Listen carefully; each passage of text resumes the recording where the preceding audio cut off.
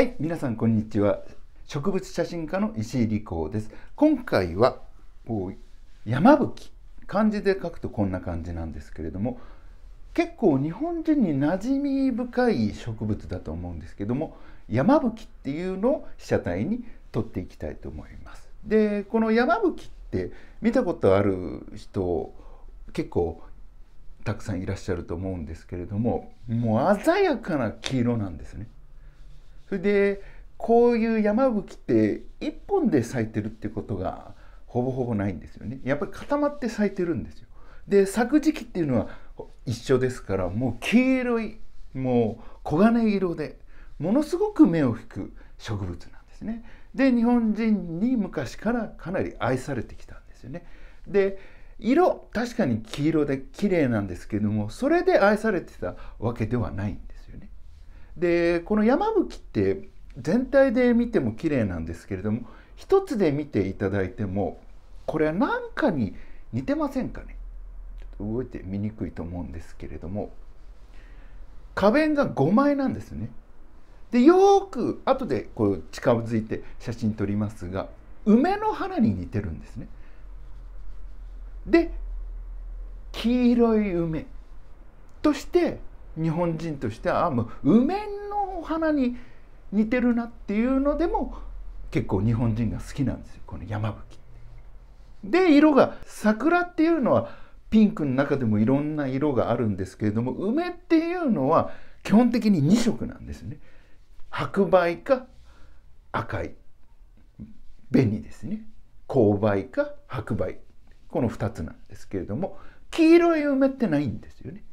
ですので梅の代わりって感じにこう日本人結構好きなんですね。で今回これを取っていくんですけれどもまずこういうのを取る時に悩んだらとにかく普通で1枚取ってみましょう。普通でいいんですもう自分の好きなところ。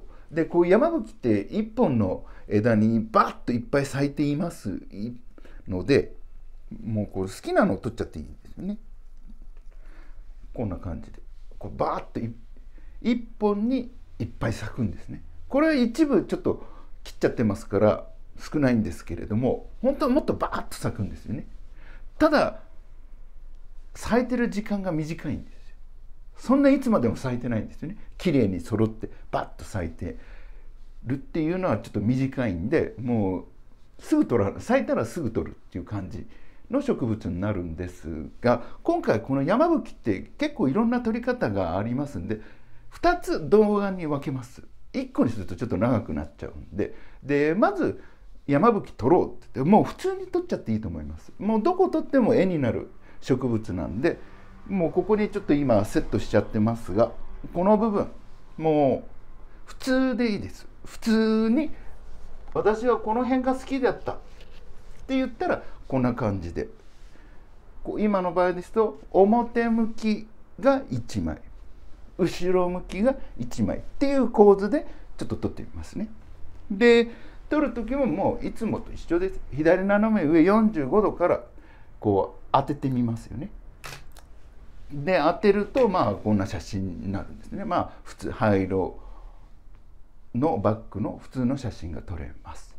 でまあ構図まあこれでいいけどちょっと後ろもう少し黒く落としたいなったらまあちょっと後ろからですね。後ろからパシュ後ろに光がいかないように取ってあげるとこんな感じなんですね。同じ構図なんですけれどもライトの位置をちょっと変えただけでこのぐらい差が出てきちゃうんですね。でまあこれでいいと思うんですでこっからなんですよ。まあこれで普通心穏やかになれました。ね。写真撮れましたんで。ああまあ80点ぐらいのは撮れました。じゃあこっからもうひとひねりしよう。つった時にどうしようか。った時まず構図変えてみましょうかね。構図を変える。まあ思いっきり構図変えちゃってもいいんですけれども私この今まで2枚これ撮ってきましたけれどもこのこういう構図が好きなんだ表があって裏があるではそれをに習ってちょっと変えていこうかなっていう時に構図を変える変える時のポイントとしてこれはあくまでも一例ですが普通やってはいけない構図っていろいろあるんですね。あんまり面白くないよ今代表的な日の丸構図やめましょうとかいろいろ構図の本っていっぱいありますよねこういう構図で取った方がいいですよ。でそれの中であんまりやっちゃいけないよっていうのがあ結構あると思うんですけどもあえてそれをやっちゃうっていうのもありなんですよ。まず自分で取ってみないとなんでその構図がダメなのかっていうのがわからないんですね逆に本ではダメだよって書いてあっても実際取ったら自分それ好きだっていう構図もあるんでもう頭からもうそういうのはダメって決めつけないでやってみるっていうのが一番いいと思います。で今回はダメじゃないんですよね。これはダメな構図ではないんですけれども、まんこう写真を斜めにぶった切るような撮り方してみますね斜めにぶった切るどういうことかっていうとちょっと撮ってみますね実際もうこのフラワーポートレートの一番の利点は相手が動かせるっていうことでで動かしながら構図を整えていくでこの感じで撮っていただくと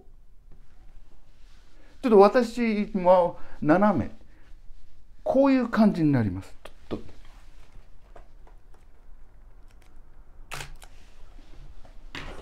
ぶった切る写真です。斜めです。斜めに叩き切れてますよね。えてこういうのもやってみるんですよね。確かにこれ斜めにビュッて切れると目障りっていう部分もあるんですね。もう全くシンメトリーとはまた違う意味なんですね。シンメトリーっていうのはいい構図として結構代表格だと思うんですね左右同じっていうのただこれ今これ取ったのは斜めに切ってってるんですね線がまあこういうのもうるさいと思う人もいればきだっていう人もいるんですよ。やっぱりこういうの構図って自分の好き嫌いがはっきり出るんですよね。ですんで今回あえてこういうのを取ったんですけれどもこういうのもありだよ。あえてこういうのをわざとやってみる。1枚目はちょっと斜め上の方にこう枝を持ってってるんですけどもそれをど真ん中の斜め対角線に切るように撮ってみたんですね。それだけでもこれだけ変わるんですね写真って。でこれどっちがいいか悪いかではなく好き嫌いなんですよね。構図的にはどうだってなっちゃうんですけれどもやっぱり自分がこの構図好きだよっていうのを決めていただけるとまあ次の時も悩んだ時にあじゃあ真ん中からこう切っていくのを取っていこうっていろんなバリエーションが増えていくんですよね。これダメあれダメって。もうダメなのを覚えていっちゃうともうそれやんなくなっちゃうんですよね。もうでこれがいいんだって言うともうそればっかりになっちゃうんであえてやってみるっていうのがこう斜めにぶった切る線普通はあんまりよろしくないよっていうのをやってみるんですね。でまずこれも取りました。でもっとっていうといつも見たこのレンズが一番寄れるところまでまあ寄ってみましょうもう極端ですよねもう極端に寄ってみる。でまずやってみます。で極端に寄ってみる。このレンズだと等倍まで1分の1まで取れるんですね。1センチのものが撮動措置に1センチ。約ほぼほぼ1センチに移るよ等倍。まあここまでガッもうこれ以上寄れないんですよね。そこまでガッと寄ってみるんですね。で寄ってみる。寄ってみて取る。じゃあこれで普通に取ってみましょう。寄ってみて取るで取る。ともうドアップのバンっていうのが取れるんですね。で取れました。でこれでもうほぼほぼ全部に光回っちゃってるんですけれどももうあまりにもちょっとどぎついよ。っていう感じになるとやっぱりこれだとあんまり陰影が少ないんですよね。もうどうだっていうような感じのライティングになっちゃってるんで。じゃあ少し陰影をつけてやろうっていうのもまた考えがつくんですよね。そうすると陰影がつくように今度後ろが斜めちょい斜めから打つとこういう写真になってくるん。ですよね。と下の方に影が出てたりちょっと変わってきますよね。同じ真っ黄色なんですけれども陰影をつけるだけで立体感がピュッと出るんですね少し。最初の写真みたいにあまり嫌味じゃないんですよね。少し自然になってきたんですね。少しですよね。であんまりこれ綺麗なお花なんで手加えちゃうとその植物のこの自然感が消えちゃうんですね。やっぱりこうドンというお花なんで近くに寄った場合はやっぱりそのもののように撮っていただくのが一番いいと思うんですよね。でこれでもう撮りました。でここで終わらないんですよねやっぱり。じゃあここで撮ったらお花っていうのは表もあれば裏も必ずあるんですよね。裏からもまず撮ってみようか。でとこの裏に回してあげる。こっちの方の裏から撮ってみる。で裏から撮ると先ほどはほぼほぼ葉っぱがなかったんですけれども今度はこの後ろから覗いてあげるとあ後ろにちっちゃい葉っぱがついてるっていうのを分かると思うんですよね。と今度お花じゃなくその葉っぱメインで撮っても面白いんじゃないかっていう感じでも撮れちゃうんですよね。で後ろの葉っぱをメインに撮っていくとどういう感じになるか。でここで今まではいつもみたいに露出が固定しちゃってたんですね。シャッタースピード60分の1絞り F16 で ISO 感度が100もうこれこう動かしてなかったんですよ。もうピントが欲しかったで。であえて今回は絞りを浅くすることでどういう感じになるか。ちょっと撮ってみたいと思います。浅くするんですね。で今当倍まで来てるんで先ほどまでは F ナンバーが16で撮ってたのを5.6まで開いてみるとどうのいう写真っていうとこういう写真なんですね。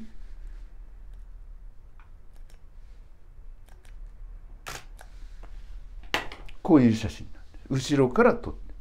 と明らかにボケてる範囲が広くなってますよね。それでこう手前にちょっと葉っぱがあったんでこう前ボケも少しあるんですよ。グリーンの。ボケちゃってるんですよね。あまりに近すぎちゃって。まあこういう前ボケ効果もこう期待できるんですよね。絞りを開ける開放することによって。あのこの感じで言うと被写界深度が浅くなってますんでボケボケる範囲がもう広くなりますんでこういう写真が撮れるんです。これはこれで面白いと思うんですよね。今まではお花にボンとフォーカス当ててたんですけど今回は葉っぱにフォーカスを当てたんですよね。それでもこれだけ写真が変わってくるんですよね。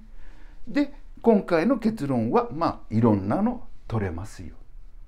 もう一つ構図一つでも変わってきます。自分がいつも撮り慣れているもの写真だけ撮るなっていう感じですね。いろんなのを撮ってみましょう。確かに本でその構図の勉強するっていいことだと思うんですけれどもあの本が全て100%正しいとは限らないんですよね。世の中にはいろんな考えの人がいますんで。ですのでこのフラワーポートレートではいろんなのを撮ってみましょう。あえてやいない方がいいよっていうのも撮ってみるんですよね。そう撮ってみることによってなんでダメかっていうのが分かってくるんですよね。ですのでいろんなものを撮っていこうということで山吹編の第1部終わらさせていただきたいと思います。ご視聴ありがとうございました。